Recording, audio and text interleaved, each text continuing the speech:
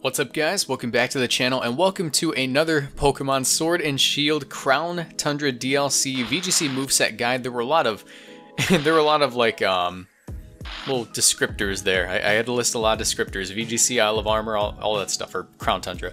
But yeah, today I'm going to be giving you guys a moveset guide on Regieleki. I'm sorry, I'm just so stupid.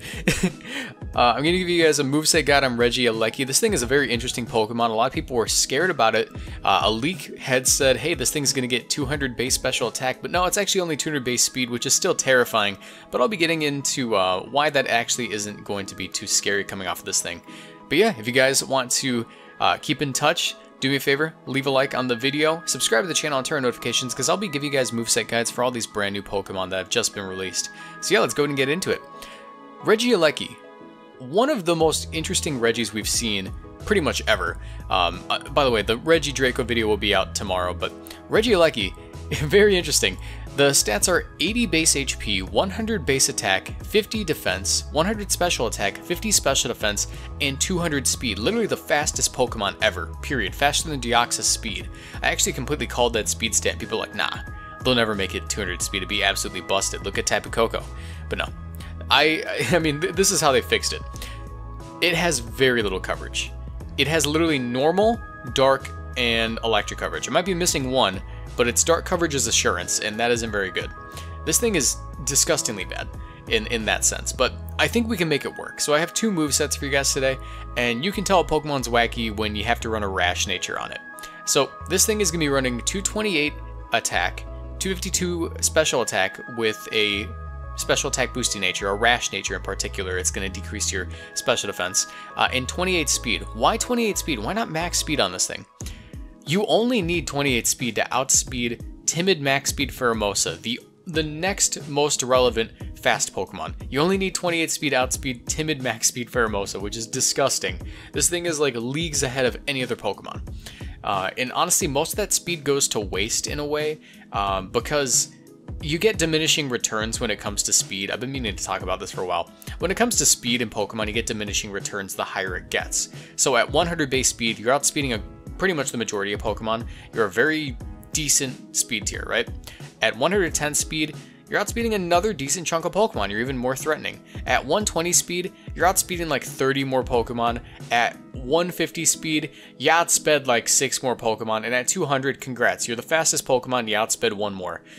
It, there isn't much there. So the only good thing that comes out of it is we can actually just take those EVs and make it a solid mixed attacker. Um, this thing is going to be running Electro Ball, Rising Voltage, Extreme Speed, and Protect with a Life Orb. This is pretty much as offensive as it's going to get. Uh, Electro Ball is actually a really interesting move. It uh, The base power is determined by comparing your speed stat and your opponent's speed stat, whatever the target is. I actually have it pulled up right here. So if your opponent's speed stat is more than 100% of your speed, which is never going to happen with this thing, um, or exactly 100, it's 40 base power. If they are anywhere between 50% of your base speed to 100% of your base speed, it's 60 base power. If they are 30% of your speed to 50% of your speed, it's 80 base power. If they're a quarter of your speed to a third of your speed, 120 base power. And if they are less than a quarter of your speed, less than 25%, it's 150 base power, which if you want to throw out an Electro Ball at a Stakataka, it's not going to want to take that, especially with its new ability Transistor, which is essentially uh, an ability that gives you a 50% bonus on all electric moves. Now, you might be thinking, oh, okay, so it's like, you know, it's it's like it has uh, double the power that a normal stab move is. Well, actually not really. If you do the math, because you have stab on electric moves, that's a 50% boost to it.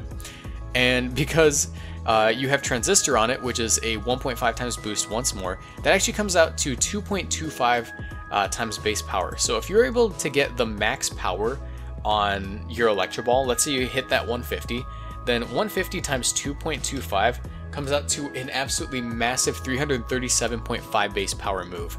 So your max moves are going to be in the ballpark of that as well. It's going to be hitting like 140 base power. That thing is nasty.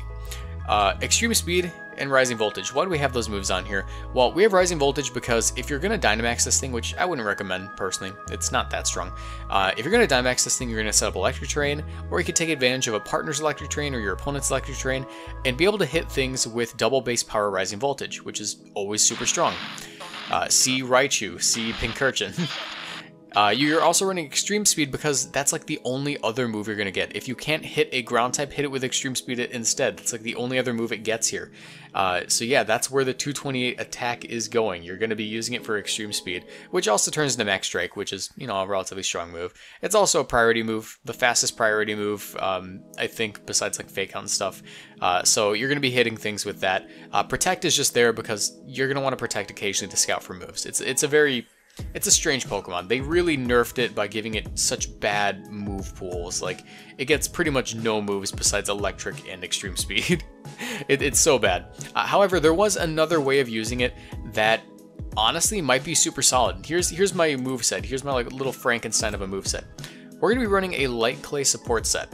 This thing is running pretty much the exact same EVs, except it's running a modest nature with that 228, moving it from attack to HP, 252 special attack, 28, er, 28 speed, once again to outspeed pretty much everything.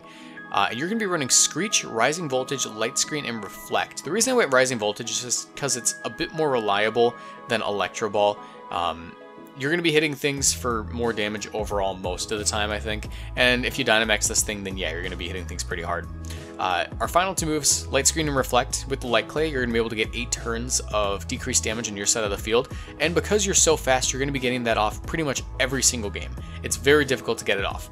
Uh, it's very difficult to uh, stop you from getting it off. And the reason we're running Screech is because you're so fast, you'll be able to support a strong physical attacker, see Landorus, uh, by hopefully landing a Screech. It's only 85% accuracy, but cutting your opponent's defense in half, and then you'll be able to hit them with a very powerful max move, maybe a max airstream, maybe a max quake, and just do massive damage. So yeah, that's like the only other move set I could really come up with it. I suppose you could run like Choice Specs or Choice Band, but I really wouldn't recommend it. Uh, it's not a very, it's not a very reliable Pokemon in that sense. So let's go ahead and get into partners. Now, this thing is interesting. Like I said, Screech is really reliable for helping out those uh, physical attackers like Landorus, and on top of that, Landorus actually helps you check the uh, opposing ground types that uh, you wouldn't be able to hit very hard. Uh, ground types like, well, I guess Landorus itself is something you, you know, wouldn't be able to beat, but ground types like Excadrill, Landorus will be able to beat. Uh, you'll also be able, to, it'll also be able to intimidate other things. Uh, it'll be able to cycle and then intimidate. It'll be able to spam max airstream, take advantage of the decreased defenses, and just be a generally solid partner. Uh, next up, we have Amoonguss, which Regieleki helps it in the sense that it'll be able to take out those Pokemon that Amoonguss does not want to deal with. Same with the other two grass types I have here, Rillaboom and uh, Tapu Bulu. It'll be able to deal with the flying types that this thing does not want to have to deal with, and that's actually a really solid option for it. On top of that, Amoonguss can redirect hits from it. If you want to Dynamax your Regieleki, you'll be able to go for those max lightnings uh, uninterrupted pretty much and just have those attacks be Follow Mead or Rage Powdered into the Amoonguss. Next partner is Tapu Koko, which, if you're running Rising Voltage on this thing, it's going to be a very powerful Rising Voltage if there's a Tapu Koko next to it.